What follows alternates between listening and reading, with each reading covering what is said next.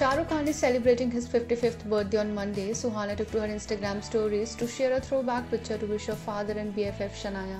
Suhana captioned the post, Happy birthday to my best friends. Suhana also mentioned SRK and Shanaya's age 55 and 21. The monochrome pic that Suhana shared was from last year.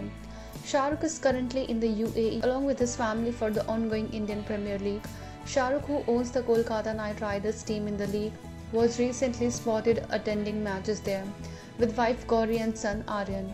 On the work front, SRK was last seen in the self-produced 2018 release Zero, co-starring Katrina Kaif and Anushka Sharma and directed by Aanand L. Rai.